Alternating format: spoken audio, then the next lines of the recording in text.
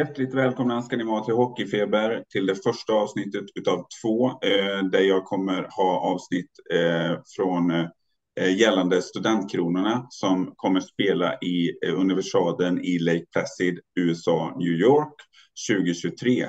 Och med mig idag, första avsnittet ut, så är det eh, huvudansvarig och huvudtränaren Johan Kling. Hjärtligt välkomna. Ja, tack så mycket. Eh, tack ja. så mycket. Kul, och, kul att ha dig med. Hur är läget? Jo, det, det är bra. Det är full rulle här i USA och förberedelserna är på, på full gång. Eh, vi ska ju snart dra iväg här eh, så att eh, vi har full trupp laddade och framförallt vi ledare också. Försöker ja. få ihop sista små sakerna innan det drar igång som sagt. Ja, stort grattis till, till rollen som huvudtränare för det svenska laget Studentkronorna. Hur, hur känns det först och främst? Ja, tack. Det, det känns ju jättebra att få äran att kunna få vara med och vara med på ledarsidan. Som sagt, jag har ju varit med som spelare 2019 mm. och nu ska det bli jätteintressant att kunna vara med som ledare också. Ja. Och ro det här skeppet. Ja, det förstår jag. Jättespännande. Jag ser jättemycket fram emot det och eh, som sagt häftigt. För många eh, känner säkert till som gillar hockey eller eh, vintersport i stort att Lake Placid just specifikt är ju en väldigt klassisk plats som har haft vinter-OS vid två tillfällen på 30-talet och på 80-talet. Fast de flesta minns väl eh, närmast givetvis 80-talet kanske. Men det är i alla fall en, en plats som har mycket historia kring sig. Ja men så är det verkligen. Uh, det, det, vet man ju uh, framförallt här i USA. Det är ju Miracle on Ice. det, ja, man, kan ja. säga, man behöver kolla på filmen. Det räcker ja. att visa ja. den så vet man hur stort det är. Och det, det pratas väl egentligen fortfarande om det och det är ju några år sedan nu. Ja. Så ja, Hur... det, ja, det, ska, det är sjukt kul. Det, det förstår jag. Hur, hur ser upplägget ut nu då för er som lag nu inför eh, när det nu närmar sig eh, själva universiaden och eh, hur ni kommer eh, ladda upp som lag och så vidare? Mm. Ja, men eh, en bra fråga. Eh, nu är det ju så att vi har ju spelare som spelar i universitetshockeyn i Sverige och, och vi har ju också spelare i vår trupp som spelar här över i USA då. Eh, så att det är lite utspritt. Eh, vi kommer inte ha någon gemensam träning innan vi träffas eh, för att kunna spela i Lake Placid. Nej. Vi kommer samlas där den 9 januari någon gång under dagen. Vi har några som landar redan den 8 och några som landar på natten till den 10 då. Sen kommer ja. vi ha två träningar tillsammans då vi tränar ihop, går igenom lite spelsystem och lite annat. Mm. Så att just nu litar jag egentligen på grabbarna till fullo att de håller igång, eh, både mm. med träning och fysträning och så att de klarar av eh, det tuffa schemat som kommer egentligen under de här två veckorna i Lake Placid. Ja, precis.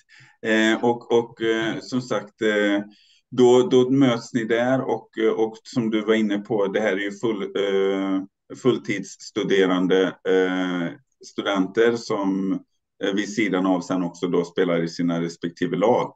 Eh, så nu har ju juluppehållet slut så, så de kör på, men man kan väl hoppas att det, att det blev en liten extra löprunda efter julmaten där då, eh, i tankarna för att det, ja, det verkligen. Ja. Verkligen, det, det, kan man hoppas. Jag vet ju att det finns ju flera av spelarna som framförallt är här över som kommer hinna spela fyra matcher eh, innan, eller vad ska man säga, efter julen fram till eh, universiteten. Så de kommer ha rätt så bra ben med sig hoppas jag. Eh, mm. Sen vet jag att det är några som hin bara hinner spela en match och ha ett par träningar. Så eh, förhoppningsvis så håller alla igen med alla julskinka och allt sånt under julen där så att eh, det är full fart nu istället. Ja, ja visst, visst. Ja, Eh, Eh, hur ser du på truppen som, som har eh, blivit nu då i stort? Eh, om du ska sammanfatta lite dina tankar och så. Mm. Ja, men jag, jag väl säga att jag är väldigt nöjd med det jag har eh, fått fram. Eh, det är som sagt det är en rätt så svår position att sitta i då många kanske inte hört talas om studentkronan innan. och sen jag fick det här jobbet i september någon gång och försöka dra ihop en trupp innan slutet av november är ju ganska tufft mm. när man inte har mm. hunnit träffa mycket folk. Ja. Så att jag har försökt jobba på att få hit spelare från, som spelar här över då i college, universitetshockeyn här över. Allt från mm. NCAA då, D1 och D3. Mm och till och med ACH Club då, Club Hockey här, här över som är väldigt stort. Ehm, så jag har kollat därifrån. Jag har hört av mig till flera olika universitet i Sverige då för att kunna få med mig så, så bra spelare som möjligt. Mm. Det är ju mm. som sagt ett landslag och då vill man ju ta ut eh, toppspelare. Ehm, mm. Och jag tycker jag har fått en väldigt bra mix.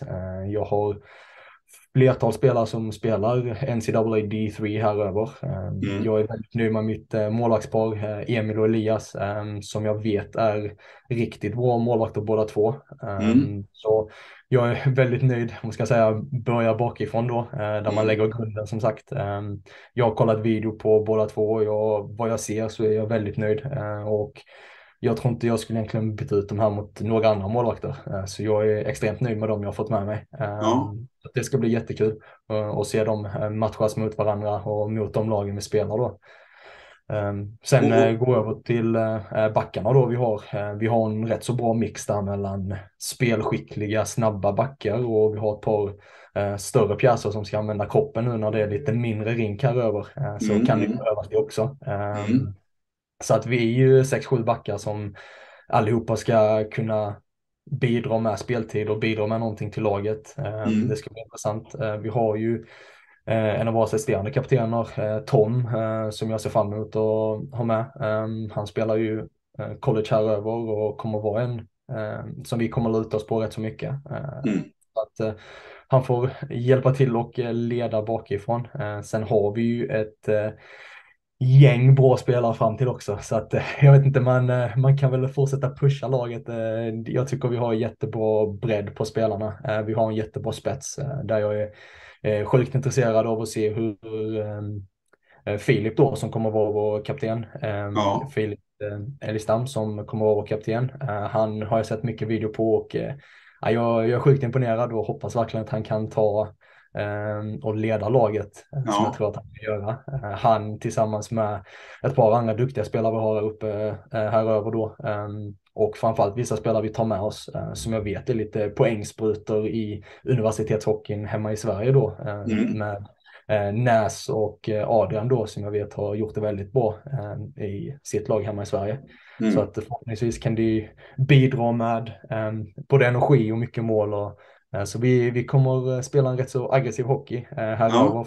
när det är mindre rink och vi kommer använda oss av mycket spelare. Vi kommer använda oss av alla spelare och utnyttjas allas starkheter och ehm, förhoppningsvis så kan vi gå väldigt långt den ja. vägen då.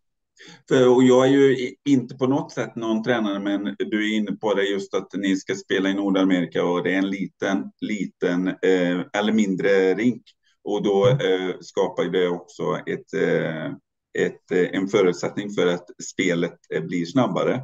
Och eh, om man då har i ert fall då, inte givetvis bara, men en, en, liksom en genomgående stomme med spelare som till vardags spelar i Nordamerika så kan ju det också ge bra mm, liksom, eh, Eh, till övriga spelare att de kan ge dem tips och, och knep och så vidare. Jag tänker mot andra nationer som kanske inte har i samma utsträckning eh, i sin trupp eh, kanske spelare som spelar eh, på så många positioner så kan man ju verkligen dra fördel av det som du sa att man ser till att sätta ett högt, eh, ett högt tempo och, och, och liksom tröttar ut motståndare. Ja men precis. Ja, det, är, det är det som du säger där. Det är ju annorlunda att spela på de här mindre rinkarna och många av de som eh, kommer att vara med i truppen har spelat på mindre rink. Eh, de kanske har spelat juniorhockey här över i USA eller till och med kanske spelat collegehockey och är hemma och spelar i Sverige nu. Mm. Så att eh, jag vet ju att eh, flera av spelarna som är hemma i universitetshockeyn i Sverige eller spelar i uh, någon annan dimension men studerar på sidan av. Uh, har mm. spelat här över och vilket kommer hjälpa oss. Mm. Um, och då har man ju den lite halvrutinen med sig, även om det är yngre grabbar man snackar med så har man ju rutinen med sig. Mm. Det kan vara uh, väldigt bra och sen att vi har många spelare här som spelar här just nu uh, tror jag kan hjälpa till. då jag vet att många av spelarna har ju, vi har lite skrivna lite målsättningar i gruppen och jag vet ju att många av oss vill gå långt mm. och då gäller det ju att alla hjälper till på sitt sätt. Ja. Det, var, det kan vara att ge liksom Eh, tips och advice då till andra i laget hur man spelar på de här mindre rinkarna så vore det ju eh, kanon. Alltså. Mm. Och så tänker jag också på det du var inne på, eh, eh, att, att man har målvakter i ert fall som också är vana att spela på liten rink. För man pratar ofta om eh, spelarna ute, men också, eh, jag tänker för den som spelar i mål, eh, så blir ju också spelet snabbare. Även om du inte är en del av det där ute så gäller det ju med liksom uppfattningen och kanske sättet också för, som man spelar, eh, som det blir spelet runt mål. Precis, att man är van det. Och det är ju också ett sätt, tänker jag, och, och skapa ett tryck mot motståndarens mål som kanske blir mer på, påtagligt om man inte är van det. Precis, ja men så är det verkligen och det är ju därför jag ville försöka få några målvakter som spelade här över ja. eh, med i truppen då eller har spelat här över så eh, både Emil och Elias då spelar ju här eh, för tillfället här över och jag vet ju att båda av dem är duktiga runt målet om man säger. De dumpar ner pucken och försöker stoppa puckar och spela puckar så gillar båda målvakterna i det. Eh, vilket underlättar eh, mycket väl till våra backar då många av dem inte har spelat um, hockey här över innan. Uh, nej, så nej. när man har lugnet bakifrån så, så vet jag ju själv liksom det. Jag spelar back förut och har man en lugn målvakt då blir man oftast själv lite lugnare med pucken mm. också. Um, så man kan lita lite mer på dem där bakom, bakom sig. Ja. Härligt, det, men det känns ju riktigt, eh, riktigt bra när man eh, eh, när, vi, när vi har gått igenom liksom olika delarna och eh, tankar inför så här. Eh, men apropå det, jag förstår att man vill inte gå händelserna i förväg och man vill fokusera eh, och eh, för att använda en klyscha, ta en match i taget. Men har ni som lag ändå fast att ni inte kanske har träffats, satt någon målsättning för vad ni vill uppnå i universaden? Vi har inte satt oss ner som lag och satt en sån här målsättning, men jag har frågat alla spelade, spelare individuellt då och mm. vad de tror Um, lite, lite sådana små mål man har. Um, och det är ju många som vill gå för det om vi säger så. Mm. Uh, vilket betyder att man är ett eller två i gruppen uh, mm. och tar sig vidare till uh, semifinal.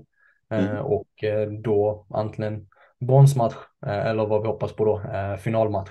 Ja. Så Eh, vi, vi satsar väl på att gå vidare så att vi får spela så många matcher som möjligt. Ehm, så att vi börjar med fem stycken i gruppspelet och vi hoppas på att det blir eh, sju stycken och hoppas den eh, sjunde är den vi vinner med mest mål så att det ja. får en guldmedalj med oss sen. Så att, ja, det hade varit eh, fantastiskt.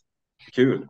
Det, det, får vi hålla tummarna för att, att, att, att ni liksom verkligen går, går hela vägen så att säga. Ja men precis. Eh, jag, jag, vet ju, jag vet ju själv hur bra motstånd vi spelar mot. Ehm, då, då som sagt jag var med 2019 och tänkte ja men de här länderna kanske inte är några stornationer när det gäller stora landslaget om man ska säga nej, tre killar då. Ehm, men när det kommer till universitetshockey så får de alltid ihop riktigt bra lag. Mm, mm. Ehm, vi har väl turen i oturen att um, Ryssland till exempel inte är med uh, det här OSet, uh, vilket mm. de brukar ha um, 800 till 900 KHL-matcher inom sin trupp, uh, mm. vilket är kanske lite svårt att matcha. Ja. Så är ja. det ju, det kan man ja. inte sticka under stolen med. Ja. Så, att, så att det är väldigt skönt egentligen att de inte är med på det Nej. sättet. Sen har vi ju, vi har ju Kanada i vår grupp. Jag ska väl jag sticker väl inget under stolen och säger att de är väl toppfavoriter och ja, vinna ja. och egentligen vinna eh, turneringen. Eh, så är det ju. Eh, de har ju hela sin trupp där alla har spelat eh, juniorhockey på högsta nivå här över. Eh, och de har väl ja, väldigt och, bra spelare där. Men samtidigt, eh, om jag hade varit med eh, i, i ett fantasiscenario som en spelare i en uttagen trupp och fick veta att jag skulle få möjligheten att spela mot Kanada så känns det ju som att ingen i laget behöver eh, tryckas igång med någon knapp. Utan att man, även om man går då in som underdog så, så är det ju någonting som du alltid kommer ha med dig resten av livet. Att, att du har kunnat få spela mot Kanada i en ishockeymatch.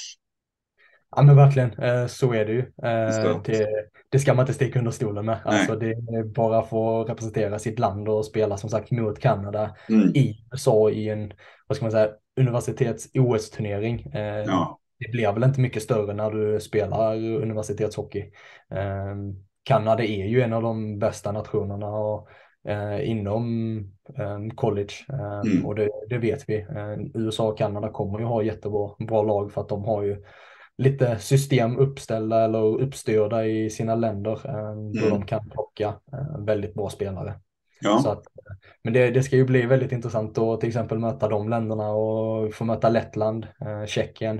Eh, så att det finns ju många bra nationer som man kanske tänker, ja men de är helt okej, okay. men när det kommer till universitet hockey så är de faktiskt riktigt bra. Ja. Eh, så, att, eh, så att det ska bli jätteintressant, det ska bli eh, kul när det väl drar igång. Och hela, hela arrangemanget blir ju också en upplevelse. Det är ju, det är ju enormt stort, liksom med flera utövare och liksom allting. Så att för många av de här så är det liksom, kommer ju vara, som jag sagt, jag har sagt det förut, men det blir ju ett minne för livet.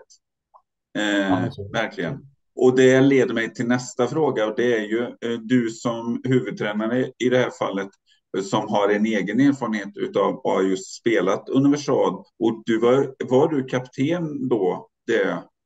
Ja, det stämmer. Det ja. stämmer. Jag var kapten. Hur, hur, vad, vad känner du, förutom att du just är tränare, eh, vad vill du liksom förmedla till dina spelare då? Eh, att de ska liksom också, för nu pratar vi mycket om målsättningar, hur, vi, hur ni vill spela, men också att man faktiskt eh, man pratar om det i olika sammanhang, finalmatcher och att man också ska ta sig, inte tappa fokus, men man ska också inse att det jag får vara med om här nu är få förunnat.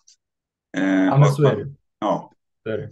Uh, nej, men det, det som du säger där, det är ju få förunnat att kunna vara med i en sån här turnering och liksom egentligen njuta varje gång man är ute på isen. Uh, det är inte ofta man får vara med och representera sitt land i ett OS. Eh, nej. Och liksom kunna vara med, som du säger, i den här miljön. Det, det är ett OS, det är inte bara hockey som pågår, utan jag, jag har väl för mig att det är 12-13 sporter som är igång. Ja.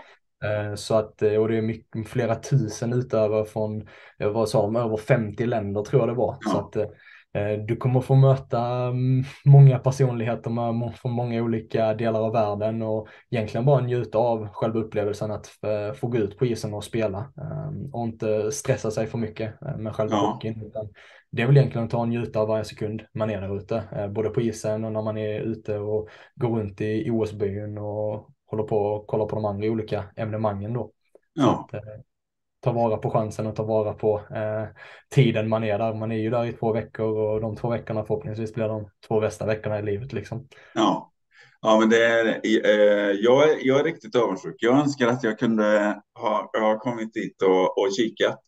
Eh, men hur, för den som då vill följa er eh, och har, möjlighet att se eh, har du någon, eh, eh, vet du hur eh, den som nu sitter och tittar på det här och tänker att nu vill jag ju heja fram studentkronorna, vet du vart man kan kunna se matchen om man inte har möjlighet att kunna vara på plats eller sitter här hemma i Sverige då? Ja, precis. Eh, så att ESPN eh, e eh, har ju köpt alla rättigheter till hela turneringen. Mm. Så att alla våra matcher kommer ju sändas på ESPN. Mm. Ehm, så att där kan man ju se matcherna. Sen mm. kommer vi ha liksom en, vad ska man säga, en live-uppdatering på våra sociala medier. Mm. Ehm, där vi kommer in vad ska man säga, inför matchen lägga ut lite laguppställning och lineups och under matchen gå igenom efter varje period eh, lite statistik och så eh, och sen förhoppningsvis göra en liten snabb intervju med ett par spelare och lite sånt efter matchen. Eh, ja. Så där kan man också följa oss då på, på Instagram framförallt, det är ju Studentkronorna. Och sen har vi ju vår Facebook där man också kan följa oss då på Studentkronorna. Så För att hålla sig, hålla sig uppdaterad. Om man nu, precis, om man nu inte kan kolla på ISPN så finns det uppdateringar där. Ja, härligt.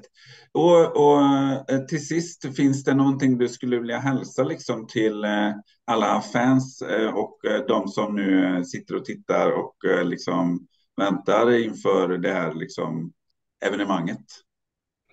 Ja, nej, men det är väl uh, försöka tuna in och uh, häng med oss i våra sociala kanaler och så uh, ska ni få kunna se en riktigt rolig hockey uh, förhoppningsvis. Uh, som sagt, vi ska spela, försöka spela en svensk och fartfylld hockey. Ja. Det ska bli roligt att följa oss. Um, sen är det ju så att som du har sagt innan, vi är ju nästan till alla är ju fulltid eller heltidsstudenter då. Eh, mm. Vilket gör att det, det, är ju svårt att kunna ta ledigt och eh, mycket så. Så att jag är ju extremt nöjd med alla spelarna som har fått ledigt från sina skolor och fått ledigt från sina lärare och, och från sina klubblag då. Mm. Och kunna vara med och spela. Eh, det är inte bara så att man tar tid utan det kostar ju pengar också. Mm. Så att vi har ju olika där man kan vara med och hjälpa till att sponsra lite, vilket vi hade uppskattat jättemycket. Det är ju mycket kostnader som man inte vet om då vi jobbar egentligen enskilt. Vi jobbar ju under eh, SAIF som är Svenska Akademiska Idrottsförbundet. Eh, mm. Och det är en ideell förening vilket gör att eh, många av oss, eller alla, betalar ju ur egen ficka för att kunna åka. Eh, mm. Så att vi, vi har ju på våra sociala kanaler kan ni, finns där möjlighet att kunna hjälpa till och sponsra oss då. Mm. Men absolut, det, och det tycker jag att man verkligen ska ta och göra, för det är ju ett sätt som man kan eh, stötta också, eh, förutom att följa på sociala medier som sagt. Och eh, jag har gjort det, det kändes kanonbra, så är man som jag och många fler med mig är riktig hockeynörd så skänk ett bidrag, som precis som Johan sa, på FoundMe heter det va? Ja, precis. GoFundMe eh, ja. finns där studentkronorna där. Eh, så om ni går in på vår Instagram eller Facebook så länkas det vidare där till våran eh, GoFundMe. Ja, så, så det tycker jag verkligen är ett, ett, riktigt bra sätt med tanke på som du var inne på att ni alla eh, eh liksom vid sidan av det här eh, stora eh, arbetet ni gör för hockeyn och det Eh, så har ni också andra åtaganden eh, så att det är liksom ingenting som, som eh, väntar utan det, eh, ni, har, ni har dubbelt arbete så att säga. Precis, vi, vi har full rulle både för vårt privata jobb och sen med vårt jobb här och som sagt alla grabbarna är ju nästan till heltidsstudenter och CSN-lånen de är de laddar, landas på hög liksom så att eh, man, eh, man kan inte ta allt för mycket lån utan att eh, ehm, det blir en för stor kostnad liksom. Nej. Att, eh, alla, alla bidrag som sagt är extremt eh, tacksamt och vi är tacksamma för att du vill vara med och hjälpa till det också. Eh, ja, vi, absolut, det, det, gör jag så gärna. Eh, men eh, Johan Kling, jag tackar så hemskt mycket för din medverkan och jag önskar dig och alla eh, uttagna till studentkronorna. Stort, stort lycka till i, i ett minne för livet i Lake Placid i USA. Och jag kommer definitivt följa er eh, så mycket som jag bara kan och heja fram er. Så stort lycka till och eh, all lycka till er. Tack så jättemycket, uppskattas. Ja. Tack. Ja. Och eh, tusen tack alla ni som har tittat och Eh, som sagt, eh, har ni några funderingar eller någonting och ni inte hängde med på hur man gjorde för att eh, till exempel stötta givetvis studentkronorna, skriv en kommentar nedanför så hjälper jag er. Som sagt, jag har gjort det. Det är superenkelt och det är en kanonbra grej att göra. Eh, för er som inte ännu prenumererade följer mig på Hockeyfeber. Eh, tryck gärna på prenumerera så ni inte missar någonting som jag lägger ut på sociala medier eller på Youtube. Eh, tusen tack för att ni tittar. Mitt namn är David Widén Oridsson. Ta hand om er så ses vi på Youtube. Ha det gött. Hej hej.